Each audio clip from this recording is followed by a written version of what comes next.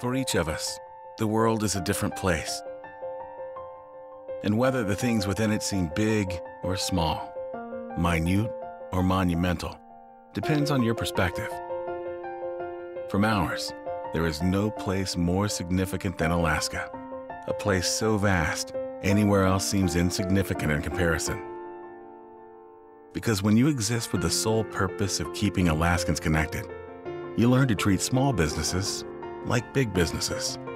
You spend just as much time thinking about current customers as future customers. And you do everything in your power to help them collaborate, share, and connect, no matter where they are in the world. It's how we make the biggest place on Earth feel a little smaller. Alaska Communications. To us, Alaska is the most important place on Earth.